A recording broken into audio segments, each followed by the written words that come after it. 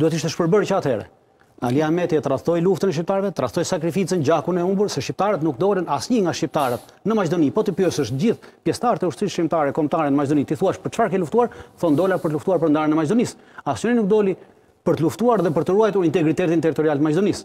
Atë integritet i interesonte vetëm Ali Ahmetit për të bërë luftë kadrovike dhe kjo quhet luftë kadrovike. Kur ti lufton për të ardhur në pushtet, sepse nuk vjen dot ndryshe, po përdor armën për të ardhur në pushtet, quhet luftë kadrovike.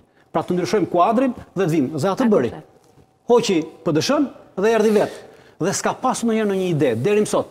Kur thotë zoti Xhaferi që do bëhet luftë idesh, BDI-ja s'ka pasur ndonjëherë ide. BDI-ja ka marrë votën për shkak të kësaj luftës se gjithnjë ka marrë këtë të luftës që ne bëmë luftën Ai luftën e tradhtoi Ali Ahmeti. E qartë. Jo, unë kam një gjë këtu, jo, se s'duhet ta lejoj, ajo prit. Prit, se ne nuk mund ta ta denigrojmë liderin e një partie tjetër. Parti e respektuar, unë i quaj ka vlera, sidomos në në në fazën e parë të arritjes së marrëveshjes së Ohrit, është një nga njerëzit që ka kontribuar për shqiptarët, ka meritat e tij, por nuk domethënë që në këto momente ai edhe mund të mos gabojë. Domethënë ne nuk duhet ta lejojmë Ai është i barabartë, është një një garë e ndershme.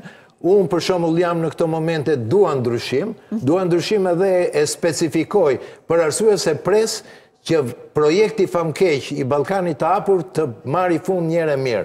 Edhe jam kon, shumë konkret, por nuk e shaj për veprimtarinë e tij, ka qenë njeri i respektuar, Një njeri, po shihni nga jashtë, edhe sot i nderuar, e kam bashkëluftëtar, s'mund të më thuash më pra. Ju mund ta shihni jo, nga jo, jashtë. Jo, unë po si diplomat. Unë e kam bashkëluftëtar, unë e kam bashkëluftëtar timin dhe bashkëpërgjegjës tu nuk as ambasadori që ka qenë bërë. Unë fola për luftën. As unë që e kam njohur. Po, unë fola për luftën. Po, mirë më me luftën, as luftën s'e pranoj ashtu si e thua ti. Po s'e pranon se një fish s'e ke parë. Unë kam qenë aty dhe di, unë kam shokë që kanë humbur, kanë dhënë jetën atje dhe sot s'ka asgjë. Kjo është është jashtë kontekstit mendoj edhe Zoti O Kreshnik, ke vetëm një fjali të lutem se dua të shkoj te zoti Mexhiti.